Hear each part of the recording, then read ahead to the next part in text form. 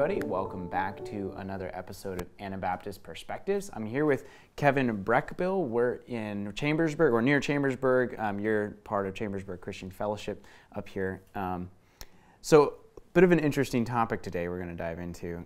In, in America today, uh, it seems like you know things are really polarized. And how can we, as Anabaptists, you know, we believe in the two kingdom concept.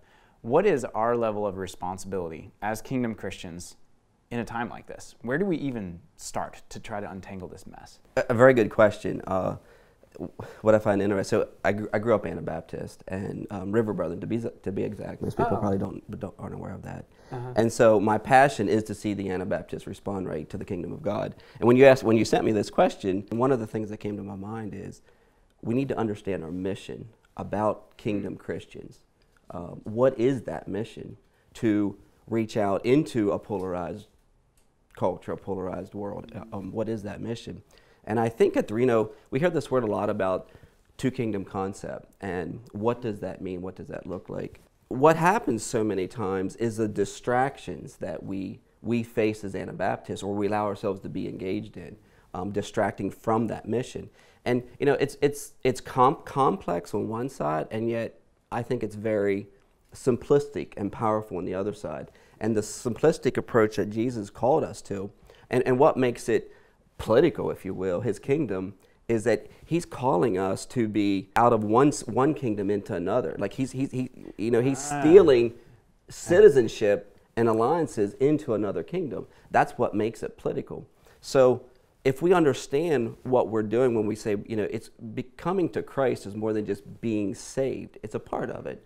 But the power behind it is that we become a citizen of his kingdom.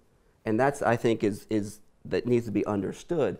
And then the next question is, what is that mission that we're engaged in? Mm-hmm. And I think if we understand that, we'll be much more effective in how we then relate to our governments and our the political bias and the political, you know, polarization and all that goes along with that. He calls us to walk in righteousness. He calls us to uh, build his church. What's that look like? That's people uh, being called and to be a citizen of another kingdom. You know, we need to evangelize into that kingdom with the intent of, of bringing them into the kingdom of God. I think the question then comes up is what is the warfare that we need to use? Because the distra- one of the distraction comes down. You hear a, you, you hear a, a political issue that takes place of a, a, say something that's extremely unjust in society what's the warfare that Christ asks us as his king, and we citizens, soldiers of his kingdom, what's the warfare that we need to pick up and answer that call? How do we, how do, how do we relate to it? He, Jesus says, um, my, my kingdom come. You know, he wants heaven to be on earth. And so he's calling us as a king in his kingdom to respond in a very, in a peaceful way, but it's through using his weapons hmm. of warfare not the weapons of polarization, whether it's the media, mm-hmm. whether it's force, whether it's you know a zillion other things that that's you know intimidation, whatever that comes with that. I mean, h- how did Jesus respond to injustice in his day? All the readings that we have, you know, the, the scriptures that talk about it, he doesn't really comment about the, the, not the specifics at least. He kind of hits the general. Mm-hmm. But what's interesting to me is so you look at the master and the slave situation in, in the uh, in, in, in the scripture. Yeah. He tells the slave to be the best slave that he can be. And he tells the master hmm. to be the kindest master that he can be. Now that to me is has the potential to be polarized, right? but what he does is he, he, he goes he go and, and so his his revolution is through a change of heart and a change of, of actions for people. And so that's the call of citizenship that we can be those people that are, are, are you know, more than just saved, you know, Jesus saved me, mm-hmm. but that we are called into a king with a kingdom, with laws and, and, and rules that we're to follow. And so I think, I think it's really important that we understand what are the, what is the weapons of war that we're to use to conquer all the injustice and all the, um, terribleness that we do, the evil that we do see, see around us every day. Like it, it, it bombards us every day. Well, so one of the perceptions, I mean, I've kind of had this perception a bit as well, is that more Anabaptists, you know, Mennonites, Amish, whoever, um, are getting more involved in American politics. Why is that? And is that a correct perception? And, and what do we do about that? I would have that perception as well. You know, as far as doing the statistics, as how it's actually panning out. I don't know the exact numbers to be able to prove that one way or the other. But definitely, in conversation, there is this rise in people's opinion of political issues. And the one answer that comes to my mind would be that um, in order for that to take place, I go back to my first statement. I think we would be losing the vision of the mission of the kingdom of God uh. and losing our the mission of what the warfare weapons that we're to use in order to conquer the way Jesus conquered sin and evil and people. And I think it's just the beginning of that is, is eroding away at the clear teachings of what Jesus taught about his kingdom and, and, and his ways. And it's what's interesting is um, John the Baptist, which is the forerunner of Christ. What was his call? Uh, make way for what? The kingdom mm-hmm. of God is at hand. Mm-hmm. And so our mission is always in light of how to present and how to evangelize to the kingdoms of this world, his kingdom. So, would you suggest, um, you know, the, the higher levels of political involvement is basically showing that we are starting to lose that that essence that you're just describing there, you know, of, of continuing on the mission. I personally would, yeah. I mean, um, if we're, you know, we, you start down the road of, you know, getting involved of, you know, violent protest and and voting. What's interesting, I just um, about two weeks ago, I heard a lady that, you know, she's 60 some years old, and you wouldn't recognize her as Anabaptist today, but she would call herself a, a, a Christian. And she said, well, this year she has to vote for the first time. Huh. So, what's the reason for that? It's the fear that takes place and grips people's heart that they begin to lose the confidence that Jesus' way and Jesus' kingdom is actually adequate to hmm. change people's hearts, and that we have to resort to the political process and whatever else to, to, to accomplish that, or force, or whatever means that, that, that tend to play, take place. So then people start voting. And unfortunately, over the years, um, the Anabaptists have voted. Like I'm not a historian that I know mm-hmm. exactly all those dates, but I know it, it definitely goes back to um, the Civil War, where you know Anabaptists started to vote. And if you read the history, what's interesting, they started to fear. Like they didn't want this guy because of this fear, so they vote for this guy, like whatever the situation is. And so I think that's one of the beginnings of the fear. It says, Fear of the Lord your God, not fear hmm. whatever seems to be urgent at the time mm-hmm. in, in, in, our political culture. So that's that's one one way that I think um, people find themselves walking away from the true um, from that mission. I, I, was thinking a little bit about the first. Um, your, your, first question, the change of alliances that takes place, and, and I was thinking of this. Think of um, David, uh, King David, mm-hmm. when his uh, son Absalom uh, tried to, to um, um, take over his kingdom. And what was interesting is David David fled, okay, and and, and, and, and how did that take place? Like, you know, and what was interesting is so it says his his men, when he was out out um, out in the woods, they said it was like robbing uh, the, his, his men was like a she bear being robbed of her whelps. Now what happened what, what what happened there? They were robbed of their alliance like you know absalom wanted to steal the hearts of the people okay? And that's what was taking place. And they were loyal to david. And the beautiful thing is they were willing to die like a she bear to save that that alliance. And we are to have that same kind of passion for the for christ and his kingdom that we're willing to die you know to be you know aligned with christ and and with him. And the interesting thing about that story is absalom how did he uh, distract the people he sat at the gate and said, Where are you from? I can help you. You don't have someone to hear to, to, to listen to your voice. If I was king, and so he stole the hearts of the people by promising them another alliance. And I, I, think that's what happens when we begin to hear the voices of the media and whatever we're listening to, and we get wrapped up in the fear of the moment, if you will, the fear of the situation, and not look back to Christ and His um, kingdom and His laws and His weapons of war that we are to use is forgiveness. Like, um, is changing the, our hearts. And, and I think the greatest thing to change any society is not by the top down through political means, but by the bottom up, which means my heart is changed and my deeds become righteous. And then I influence you and steal your citizenship to the kingdom of God. And you become true to this kingdom. And what's, what's interesting about Christ's kingdom is he calls us to be obedient to these kingdoms unless it's against God. And that's very, very interesting. And the best, my, when, when that drove that point home for me personally, is when I realized it's like an embassy in another country. They listen to the laws of, of, of, the, of the country that they come from, but they still drive the speed limit, whatever law is put upon them. Yeah. They are within that framework, but they don't vote there. They don't put the people in government. They don't run for government. They don't do anything of that kingdom that, that bring that's that's leadership within that. To me, that was the best example that I've ever heard and has revolutionized my, my life personally. The passion to be willing to change and to be that person first of all and foremost, um, in order to then hopefully we can influence others. In your opinion, what should we be doing as we see Anabaptists increasingly taking, I guess we could say, both sides of the political spectrum? My answer to that is I weep. um, I think it's a tragedy that mm. Anabaptists would become so distracted that we would end up taking taking sides on both sides. Hmm.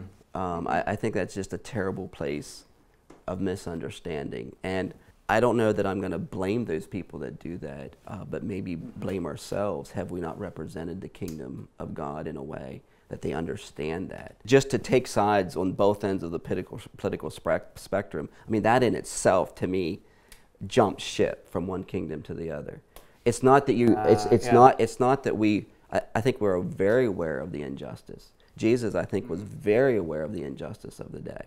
Mm-hmm. Um, but he responded to it by being compassionate and by actually calling those individuals to respond right to it and mm-hmm. and then he did whatever he could to reach out to that and to alleviate it and to help it uh, but he never got involved in the fight between the Samaritans and the Jews like he, he, he, he Ooh, that would have been the two opposite that would have been, right that, that would yeah. have been the political um, um, polar, mm. polarization of the time that I'm uh, that I'm aware of so in my opinion um, yeah I guess I would go back that we need to go back and relook at is our mission clear of the kingdom of, of, of Christ? Are we teaching that effectively? And have we um, taught that in a way that people recognize that we, we listen to Jesus and his laws and his kingdom?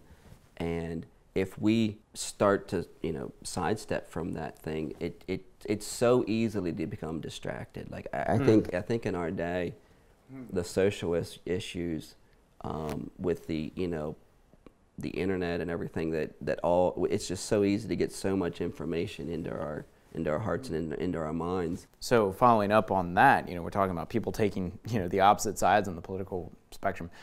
What is something our churches can do to better, I guess, handle this lightning rod of politics when it comes to interacting in the political sphere? One thing I've always found interesting is when I hear that question, I think, what did Jesus ask us to do when it comes to government?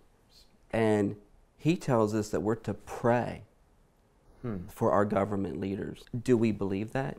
Do we recognize and understand the power that prayer actually does? And in order for that to be, you know, we say we want change in our in our in our society. Jesus says we're to pray for them, that they would allow us to live in peace and harmony, and we're to pray that they would lead lead well. Do we not believe what Christ says, our King? Like it, it, it's so easy to um, allow ourselves to be misled and get involved in many other many other things. What's interesting, I, a while back, I, I was doing a sur survey and asking people, so how long do you pray?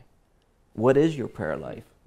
You know, we call ourselves yeah. kingdom Christians or Anabaptists, and you know, we depend on this King Jesus. Are we praying to him like, like he calls us to? Are we praying to him for our brothers and sisters? Are we praying to him for to help us to be better people? I heard the, one of the most powerful stories I've ever heard of prayer. and it was this man. He, he was actually, I think he was in, uh, from from India. I think it was. He was a, a, not a nice man. He was married and a, not nice to his wife, not nice to his children.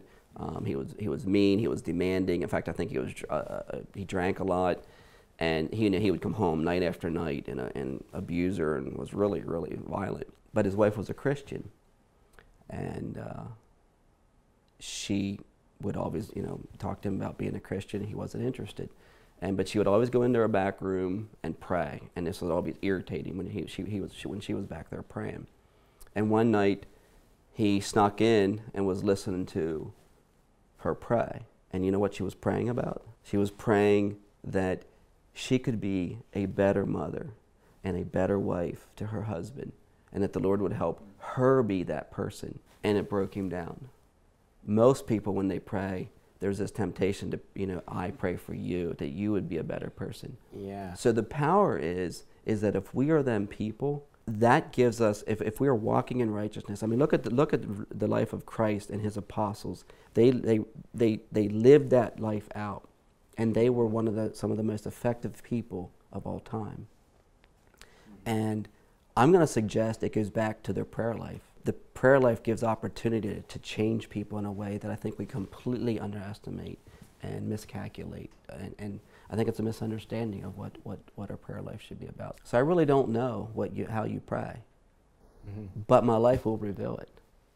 If I start to become distracted, I think that's evidence of me not having a full prayer life and not being that person of, of, of that agent of change. Because I've often wondered, like, the amount of energy that's expended on not doing that.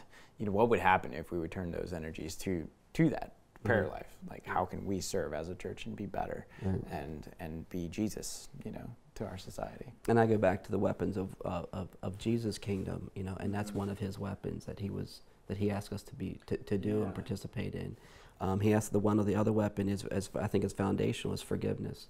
Um, I think that is just something that we talk about, and I think the Anabaptists have done a very good job. And I think one of a, a current event is uh, what is called the nickel mine shooting that had took mm-hmm. place in the Lancaster community. Mm-hmm. Um, that forgiveness that comes out of lives that, that recognize that that is massive. Like, it, it, you know, so, and that's that's um, peacefulness. That you know, living peacefully.